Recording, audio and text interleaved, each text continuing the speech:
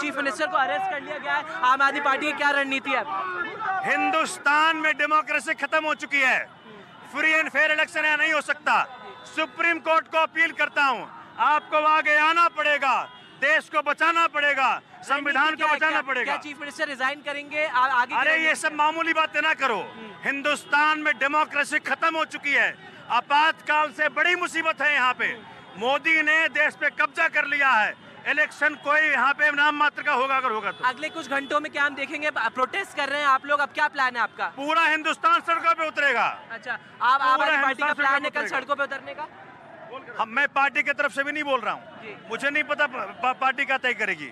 लेकिन मेरे अनुसार पूरा हिंदुस्तान हिंदुस्तान हिंदुस्तान को सड़कों पर उतरना चाहिए। और चीफ मिनिस्टर रिजाइन नहीं करेंगे। अरे क्यों रिजाइन करेंगे चीफ मिनिस्टर क्या गलती करी चीफ मिनिस्टर ने हमारी?